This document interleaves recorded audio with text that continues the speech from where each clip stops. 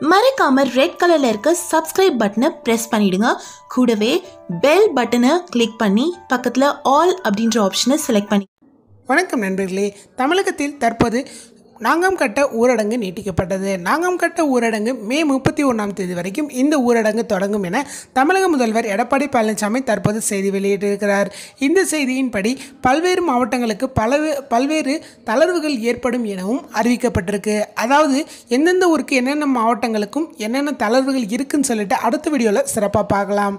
அதாவது ஏற்கனவே மக்கள் அதிக பசி திண்டாட்டத்தில் இருக்கிறாங்க. ஸோ இந்த சுச்சுவேஷனில் திரும்பி இரண்டு வாரங்கள் ஊரடங்கு நீட்டிப்பு காரணம் ஒரு மனம் வேதல் அளிக்கக்கூடிய ஒரு விஷயமா இருந்தாலும் நமக்கு ரொம்ப சேஃபான ஒரு விஷயம் அப்படின்னு கூட சொல்லலாம். இந்த ஊரடங்கு இருக்கிற காரணத்தினால தான் நம்ம வீட்டுக்குள்ளே இருக்கிறோம் வெளியில் போகாமல் இந்த கோவிட் நைன்டீன் வைரஸை தடுத்துட்ருக்கோம் அப்படின்னு கூட சொல்லலாம்.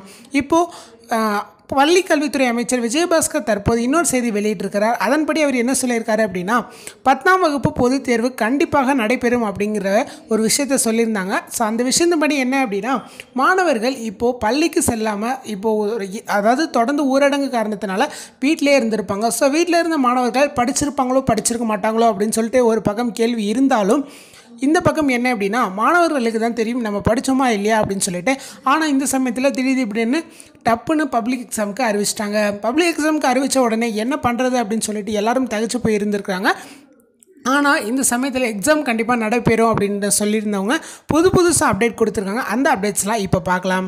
முதல் அப்டேட் என்ன அப்படின்னா அந்தந்த பள்ளிகளிலேயே அதாவது பொதுத் தேர்வு நடைபெறும் அப்படின்னு சொல்லிட்டு முதல் அப்டேட் கொடுத்துருக்காங்க. இதுவே வாயில் சக்கரை போட்ட அப்டேட்டாக தான் இருக்கும். ரெண்டாவது அப்டேட் என்ன அப்படின்னா மாணவர்கள் தொண்ணூத்தஞ்சு பர்சன்டேஜிலிருந்து தொண்ணூற்றேழு பர்சன்டேஜ் வரைக்கும் தேர்ச்சி செய்யப்படுவார்கள் அப்படின்னு சொல்லிட்டு அதாவது கொஷின் பேப்பர் ரொம்ப கஷ்டமாக திருத்த மாட்டோம் அப்படிங்கிற ஒரு விஷயத்தையும் சொல்லியிருக்காங்க. அப்புறம் இன்னொரு விஷயம் என்ன சொல்லியிருக்காங்க அப்படின்னா இந்த தேர்வானது ரொம்ப ஈஸி ஈஸியாக இருக்கும். மாணவர்களை ரொம்ப கஷ்டப்படாத அளவுக்கு இருக்க செய்யும் அப்படிங்கிற மாதிரியும் சொல்லியிருக்காங்க. அப்போ இதுலேருந்து நம்மளுக்கு என்ன தெரியுது அப்படின்னா இந்த தடவை தேர்வு எழுதக்கூடிய எல்லா மாணவர்களும் வெற்றி பெற போகிறாங்க ஆல் தி பெஸ்ட் எல்லாரும் வெற்றி பெறுங்க. இந்த வீடியோ பிடிச்சிருந்தால் லைக் பண்ணுங்கள் ஷேர் பண்ணுங்கள் கமெண்ட் பண்ணுங்கள் நன்றி வணக்கம்.